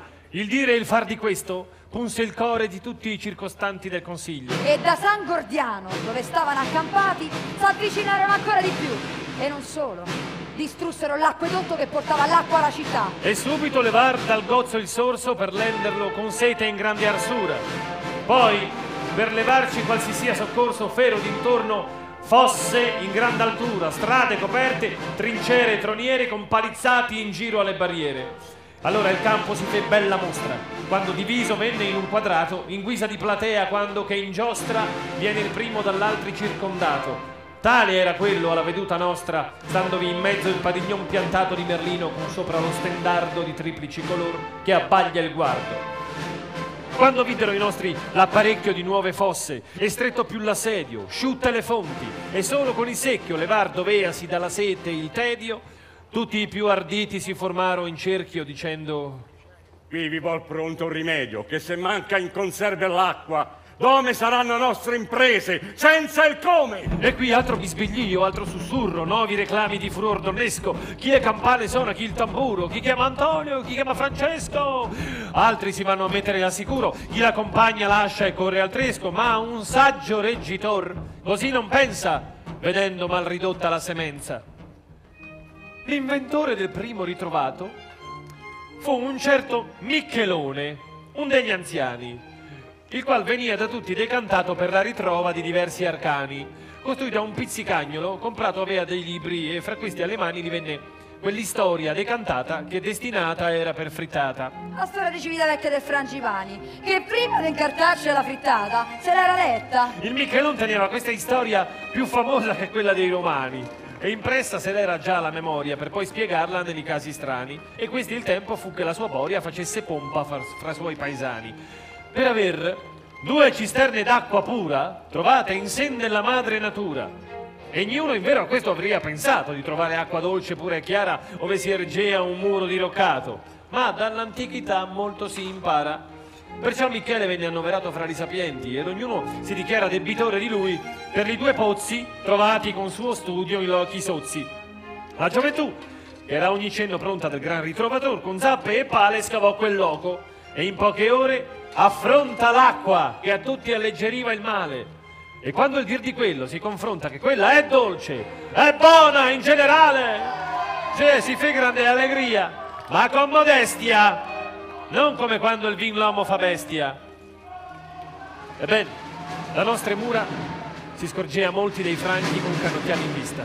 E perciò nel vedere il franco sempre a crescere il lavoro e artiglieria, anche i nostri, non avendo sempre le loro forze e la loro gagliardia, con picci e zappe fatte in buone tempre, ognuno si pose con grande energia. Affondaro più le fosse, a ciò che in caso di scalata non fosse il luogo invaso.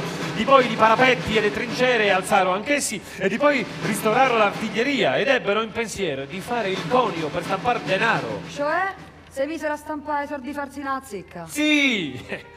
Questo che io scrivo non sono chimere, ma sono cose che essi ritrovarono in pochi giorni per il ben comune, tanto poi ingegno in mezzo a sue sfortune. Così, temporeggiando più e più giorni, Eh, ma quanti giorni passarono? e stavamo alla 73esima giornata, non vi preoccupate, ne mancano soltanto 9, eh, state conto. Dicevo, temporeggiando più e più giorni, con scaramucce e insolite fortute, il tempo venne che per noi di forni pizze più non facevano, né pan stidite, solo il pancotto e con i contorni si dispensava. Gratis. E qualche volta in lite si veniva per vederlo ammuffolito, ma quel che niente costa è un gran partito. Il far dei franchi a molti il cuore rattrista, ma non già quel dei bravi sgherri nostri usi a bestemmia più che a paternostri. Anzi, costoro con spirito e coraggio, dopo di aver bevuto del buon vino, ognuno si portò per suo vantaggio sopra le mura a fronte di Merlino. Il sole aveva cangiato il proprio aspetto e di già l'emisfero era all'oscuro, il cuore a tutti palpitava in petto pensando a ciò che è scritto del futuro. Quando che Franco vide in convulsione l'aria, ci venne pronto a dar l'assalto, credendo di trovare in confusione i nostri tutti, ma qui sbagliò il salto perché la gioventù, pronta al cannone, si trovò quando vide su dall'alto l'esercito inimico sotto il forte, già pronto a dar di piglio a mura e porte. E qui si venne a una feral tenzone tutta sorta d'armi erano in giostra e chi nel chiuso e chi in aperta agone faceva di sua bravura bella mostra. Zarin, con il suo magico bastone, fe apparire un globo a vista nostra che l'aria circostante illuminava. In giro dal pallone si vedea fortezze, torri, cavaliere, fanti e una gran donna questi dirigea come, come che fossero stati astri volanti.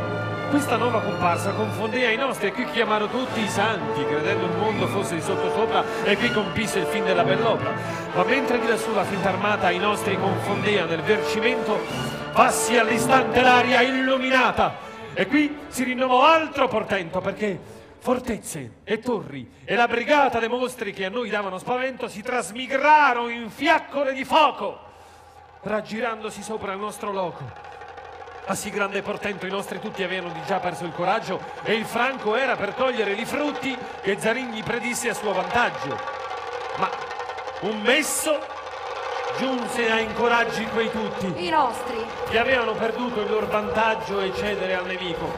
Che il valletto di nuovo pose ai nostri cuori in petto che disse ad essi Amici, qua mi invia Rosana pronta a far vostre difese. Perciò sbandite la paura e sia oggi per voi un delle più grandi imprese. Mentre così dicea, in compagnia Rosana giunse con donne torrese, mogli di pescatori e risse pronte che loro audacia eguagna un rodomonte. Questa razza di donne, se ciò lecce chiamarle donne, sono di razza birba ed hanno invece di bell'aspetto le loro facce brutte. Le vecchie poi hanno un color di pece, fanno malie a giovanotti e putte, bugiarde, fraudolenti son costoro, inimiche di pace e del decoro. Queste erano guidate da Rosana Torrese, anch'essa capa di Maria. E tutte queste streghe la quatrana se le teneva per sua compagnia. Di lei e di costoro, cosa strana voi io direte, e non è fantasia dell'estero mio poetico, che queste sono sempre pronte a sollevar lor veste.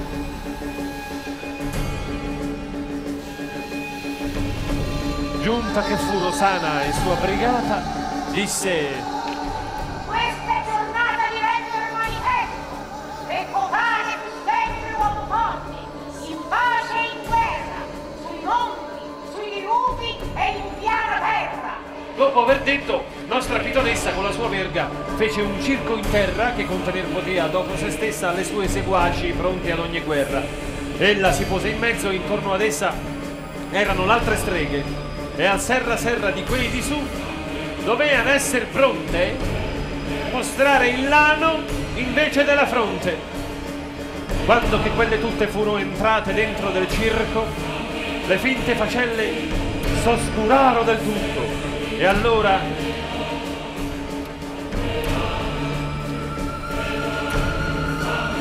ebbero le torrese alzate le gonnelle e con il tondo all'aria le sfacciate mandavano lassù non già quadrelle né bombe e palle ma da quel segreto ognuno mandava il puzzolente peto L'usanza di esibire le natiche, oggi peraltro del tutto scomparsa e dimenticata a Civitavecchia, viene da un antico rituale dei Germani e di altri popoli pagani, i quali, mentre scoppiava un uragano, si mostravano sulla porta di casa col sedere scoperto, quale atto di sottomissione alla divinità Odino.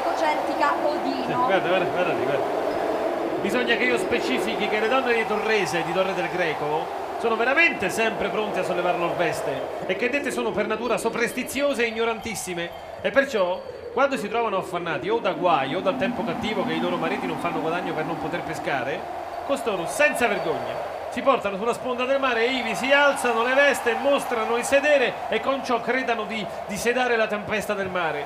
E ciò che io dico, signori miei, di tal fatto dico, ne sono testimonio oculare, dico proprio oculare, eh, perché il semplice lettore non pigli il tutto attraverso. Il poema, Ah, maestro. E al tremito uscì ad aver metalli, uniti a suon dei bellici strumenti, era un echeggio che da monti e valli per timorsi partir tutti i viventi. L'aria, in veder quei culi neri e gialli, di Zarino sbandì tutti i portenti e dall'istante il sol di nuovo apparve lucido in volto ed ogni larva sparve. Rosana e sue seguaci sol restaro, col mezzo mappamondo all'aria aperta.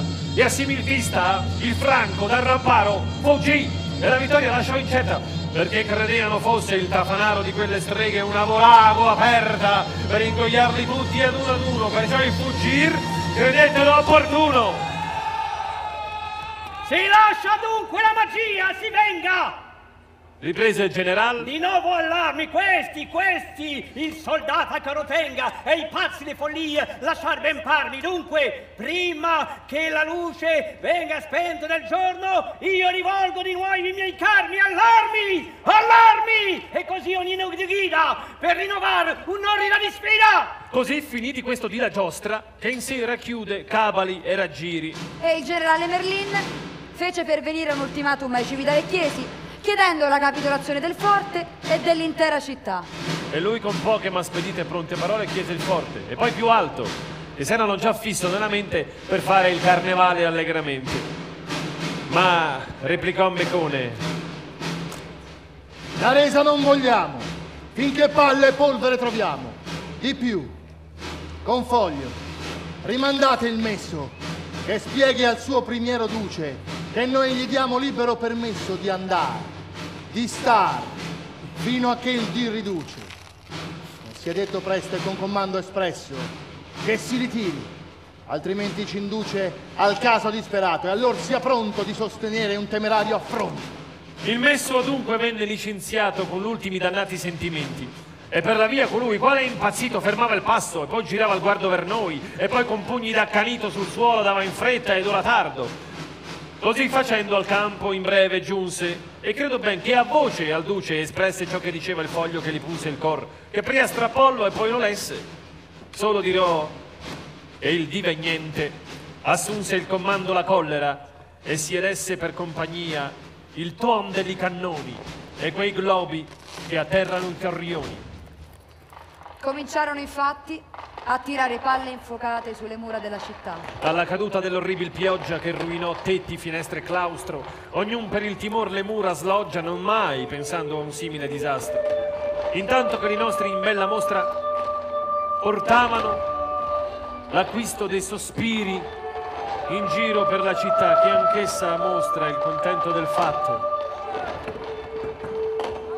E i più vivi ad alta voce gridavano per via Tremate Giacobin! Viva Maria! E pieni di zelo sulle spalle portarono in giro la santa donzella senza aver tema delle bombe e palle. Che pioggia di gragnola parea quella, perciò con prece ciò che fe non falle, con gridi andaro sulla cittadella e l'uomini sorpresi a simil vista fero coraggio e l'inimico attrista. Allo sparo che fe l'artiglieria dei nostri baluardi e la fortezza, palle con palle senza maestria si incontrarono a vicenda a mezza altezza e tutti uniti, giovani ed anziani, chi pattugliando e chi sopra le mura, e i muratori uniti a Limagnani avevano degli incendi essi la cura, le donne ancora, con le loro pronte mani, dei cartocci da polver la fattura avevano l'azienda, e i fanciulli anch'essi erano privi dei frastulli. All'invenzione con gran maestria e altra inventarono i nostri in tal disagio, che forse i primi padri di follia in tal caso non ebbero coraggio che all'aprir del giorno, in armonia,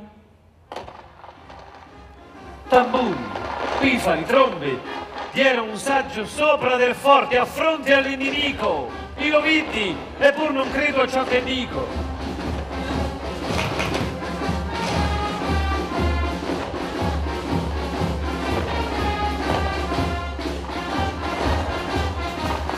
Ma tanto poi perfidia in mente umana il Franco, punto da simile oltraggio, rinforzò più i tiri, in guisa strana che fea più d'uno perdere il coraggio, e fu levato il suon della campana dai templi, ove al gran Dio si rende omaggio, perché le bombe a palle al sacro sono cadeano a piombo a chi chiedeva perdono.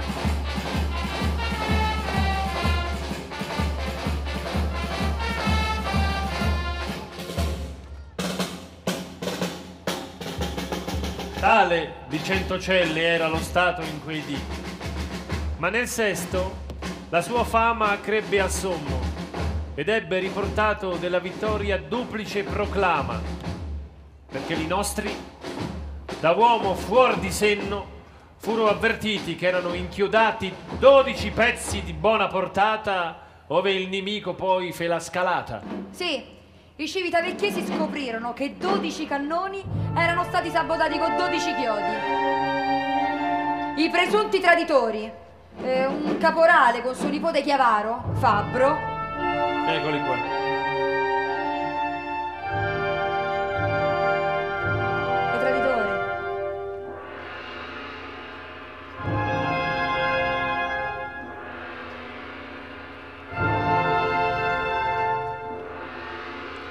Furono fucilati.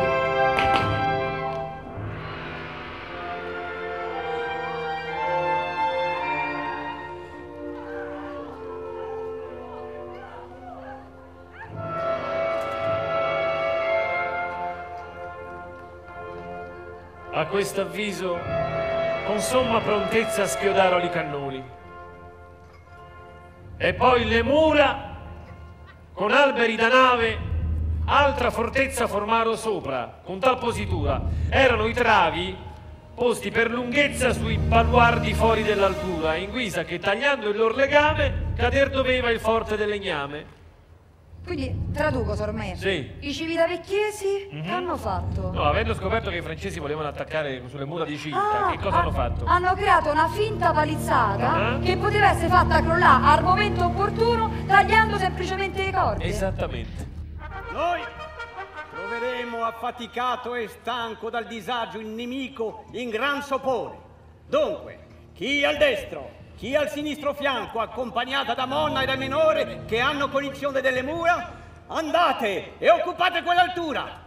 Le scale sono pronte in abbondanza, forti e capaci a reggere più soldati. Appresa voi verranno in ordinanze quei che per simili imprese sono notati. Se poi richiede circostanza, saranno pronti altri agguerriti, armati. E poi, quando il forte occupato avrete, alle porte, con quelli vi unirete. Era la notte oscura ed il fragore del mar, respinto dal furioso vento, il quale levava al senso quel sentore che dà all'udito il vero cernimento. Ed essendo continuo il rumore, niuno s'avvide del bravo cimento, cioè dell'erezione delle scale che il nemico con prontezza sale. Già i più arditi dei soldati franchi, la più parte giudei, all'eminenza erano giunti, quando i meno stanchi, colà, videro con pavenza un'insolita luce e in avvenenza una donzella stava più che bella e più lucente della prima stella.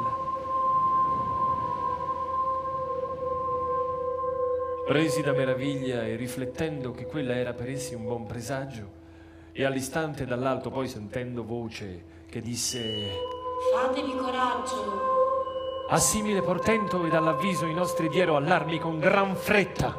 Ma di già Ferraù, con brusco viso era della muraglia in sulla vetta e gridava agli sui che già deciso era l'acquisto, quando non saetta, ma palla di moschetto il fere in fronte e lo mandò a trovare il dio Caronte. 啊！Caduto il primo, ecco il secondo in veste di nostri, con assalto assai peggiore, e comparvero all'erta tante teste che avriano spaventato ogni gran core, ma i nostri nulla tema ebber di queste, anzi, con grida piene di terrore, e con la forza unita al loro coraggio, rigettarono il nemico dal paraggio. Chi lungi si trovava ed avvenuta del fier combattimento, ben potea veder quel butta di lumi sostenuta, la città che qual nella lucea, il salir delle bombe, era caduta, anche questa altra luce componea, lo sparo dei cannoni dei moschetti fero levar gli sposi dai loro letti. La confusione non dava più loco a discernere cosa si faceva. Il lampo, il dano, il fumo da ogni loco, unito al grido in tutto confondea. Molti dei franchi erano già sul gioco delle trincee e ognuno si difendeva valoroso e prodigo soldato, senza badar chi adesso muore al lato. E già di feriti e morti il ricimbrato del teatro del pianto era platea. Il controfosso era di sangue ondato che giù dal muro, in furia, discendea. La sorte fu che abbandonò il valore e compita vittoria nostri diede. Quando già si pensava il sanitore verso nostre mura fermo il piede, allora con altro strepito e fragore cadde il forte di legno e adesso cede ciò che cadendo trova e rotolando uccide i vivi e i morti va schiacciando. Il 2 marzo i francesi si arrampicarono sulle mura e i civitavecchiesi tagliarono le corde della palizzata, facendole precipitare e uccidendo essi e quelli sottostanti. Alla caduta di sì grande ammasso, parve che la città cadesse tutta. Si scossero le mura e, ed il fracasso fu come quando l'Etna ributta. Chi non ebbe agio ad allungare il passo, male la vita sua l'ebbe ridotta, che la paura si cangiò in terrore, tanto fu lo strepito e il rumore. L'ira, l'orgoglio, unito al gran furore, cessò, cessò lo sparo in sull'istante, insomma quiete e quasi in un sopore. Restarono le vicende tutte quante. E così si stette fino al primo albore, che all'inimico fe voltar le piante, per risarcire al danno ricevuto e consolare chi cercava aiuto. Febo, Per sole, intanto, ascendea all'orizzonte e allora già prefisse ma con luce tutta dimessa e con sanguinea fronte, quasi che compiangesse il caso truce, e tirò a sé l'umor del fiume e fonte, e con quel si fe un velo, una nebbia, e poi si induce a darci il giorno, ma ben si scorgea che con suo dispiacer questo facea. Questo lo fe per non vederne prati morti, membri recisi da languenti, erbe, fiori, dal sangue innaffiati e di guerra arme tutti appartenenti.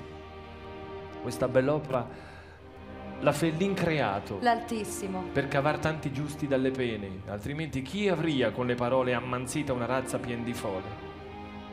Mentre i nostri dopo la vittoria pareano di pace un vero esempio, e con volto dimesso e senza boria andiero uniti al sacrosanto tempio, ivi deposta fu quella memoria di guerra che di noi doveva far scempio, e tutti, ad alta voce in cuor devoto, con ringraziare il Dio, sciolsero il voto. Io lo dirò che il Franco più che mesto era dei nostri, e perciò presto cede a ciò che gli richiede in Parlamento, tutto gli accorda, ed è più che contento. Come garanzia di pace, i civitavecchiesi mandarono al campo dei francesi 12 ostaggi, 6 borghesi e 6 popolani. E così Merlin entrò in città. e fecero un solenne giuramento a ambi le parti di dare oblio a tutto il passato e che né un monumento restasse del passato empio desio. Anche perché i civitavecchiesi sono stremati dal lungo assedio subito. In città scarseggiano viveri e sono esaurite le munizioni. L'ammiraglio inglese Orazio Nelson non ha inviato gli aiuti richiesti. E i napoletani sono stati, sono stati battuti dai francesi. E Ferdinando IV è scappato in Sicilia mentre a Napoli si stava a consolidare la Repubblica Partenopea Giacobina. Eh, Sì, però bisogna che accettiate le seguenti condizioni. Primo, rispetto del culto cattolico. Secondo, amnistia generale per tutto quello che abbiamo fatto dopo il vostro abbandono di Civitavecchia, comprendendovi anche le popolazioni che hanno fornito il loro aiuto e mi riferisco agli abitanti di Dolfa e delle Allumiere. a Torfa le cose non andarono così bene. Non si arresero al nemico e vennero fucilati 140 torfetani. Terzo, nomina di un comandante della città che sia de zona e non francese. Quarto, presidio di tutte le postazioni militari con forzi solo civitavecchiesi. E quinto, esentare tutti i civitavecchiesi da qualsiasi tassazioni, sia per danni di guerra che per altro. Accolgo tutte le vostre richieste. Con proclama del 5 marzo 1799 e inoltre sarà rilasciato un salvacondotto a tutti i civitavecchiesi che inoltre intendono lasciare la città. E soprattutto, non vi rifregate tutto come l'ultima volta. Almeno lasciateci le posate. E io ti nomino presidente della municipalità e capo, e capo della Guardia Nazionale. Ah, Sormai, ma perché improvvisamente Merlino è diventato tanto buono? Perché aveva saputo che i suoi superiori lo stavano per sostituire con il generale Plantà ritenuto più idoneo. Ritornata la pace in nostre case, tutti si diero in preda all'allegria. Ma prima di venire a ciò si persuase il consiglio a levar da prigionia tutti coloro che la malizia invase e fu un'unione di bella compagnia, cioè dal Feo, il Franco e la Drosilla, che ad ambidui l'amore in seno brilla. Giunta tal nova ai due fedeli amanti, ditemi amore voi qual fu il contento quando il coniugal nodo l'aspiranti ebbi legati in quel fatal momento. Quando fu pronto il tutto, un banditore col sonno della tromba gliel'avviso. Oh, se veduto aveste mio lettore come all'istante l'uomo cangiò viso. Tutti dal volto scacciarono il pallore e dettero ricetto al canto e al riso. E uniti ai franchi i nostri cittadini, andettero alla giostra e poi ai festini. Che sarebbero la caccia del toro, del toro alla cuccagna. E giochi che all'epoca si facevano la, la festa di Santa Fermina, no? Esatto, brava.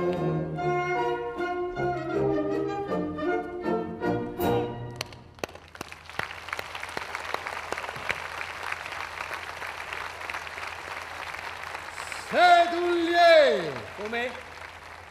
Sedullier! Ah, citoyen, citoyen, mio carissimo Mecone, citoyen. Citoyen, come dici te? Cioè, cittadini! E ora tutti al porto per la travola a mare! Eh!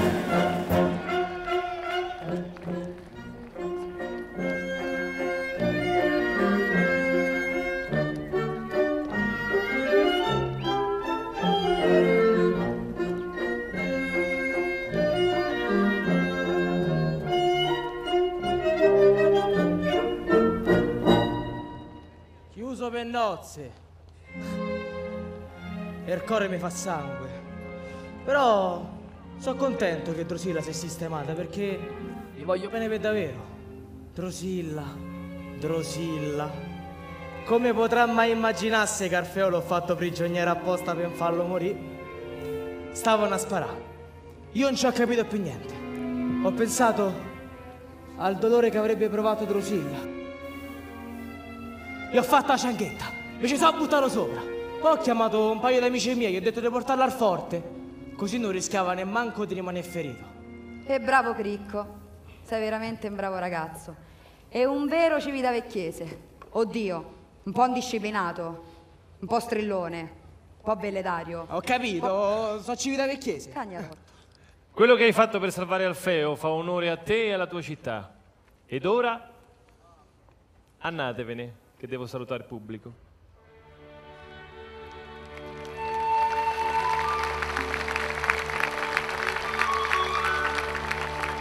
Ma prima di mia partenza chiedo scusa a chi che sia e se vi fosse strofa, stanza che vi offenda, non sono io, ma la musa che forse mi recò tanta arroganza.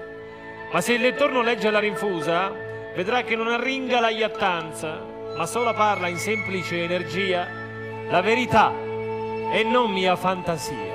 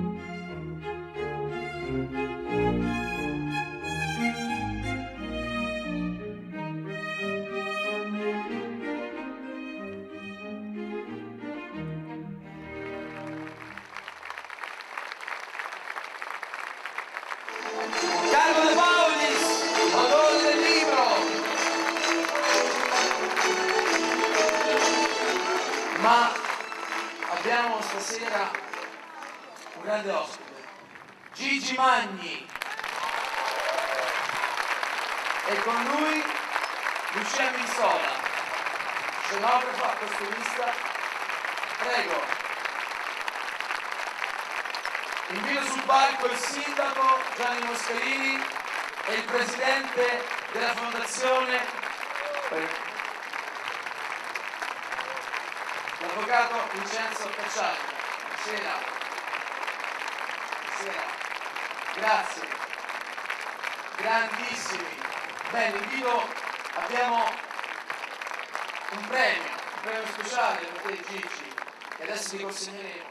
Abbiamo un premio alla carriera per aver saputo valorizzare la storia del cinema e del teatro.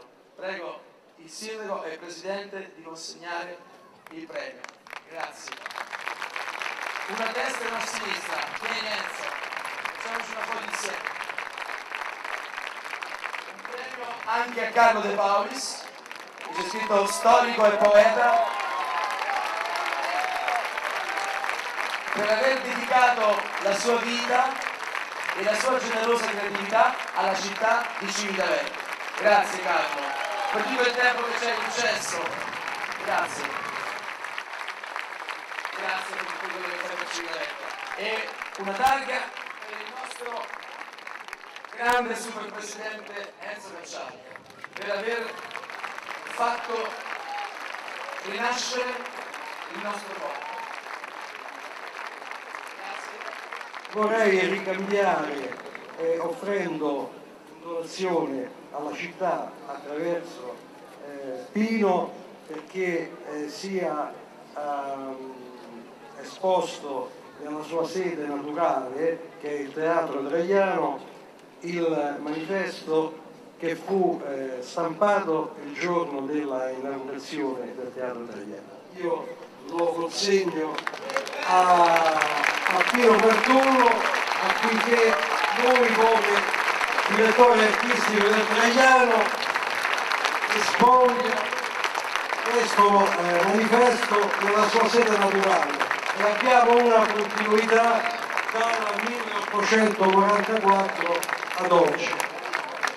Il primo manifesto del Teatro Italiano, grazie, non poteva esserci regalo più bello. Grazie a tutti, grazie di questa bellissima serata. Un ringraziamento grandissimo al sindaco, alla giunta e al presidente della Fondazione Cassa di Risparmio Vincenzo Cacciaglia. Grazie che ha finanziato il progetto, prima il libro e poi il progetto 82 giornate. Grazie Presidente, grazie. Un saluto e un ringraziamento delle scuse al Vescovo. Grazie, grazie, grazie. Speriamo che Civitavecchia continui questa tradizione che è stata messa in una pagina stupenda della sua storia e continui anche quel brio e quel genio civitavecchiese che ci permette di superare tante difficoltà, anche se alcune volte le creiamo. Presidente Cacciaglia, ancora grazie per la grande disponibilità della Fondazione Cassa di Risparmio. Ah, eh, grazie a tutti voi che avete contribuito a fare questo bellissimo spettacolo. Chiamiamolo spettacolo, in realtà è una manifestazione culturale di grosso pregio. La Fondazione non poteva tirarsi indietro, io dico sempre che ho cominciato la mia attività di presidente con la pubblicazione del libro Le 82 giornate di Civitavecchia. È un traguardo importante che abbiamo raggiunto proprio perché la storia della nostra città deve essere conosciuta abbiamo ristampato un po' di libri, li manderemo sicuramente a tutte le biblioteche della scuola, perché è bene che i ragazzi eh, sempre di più sappiano la loro storia e le loro radici.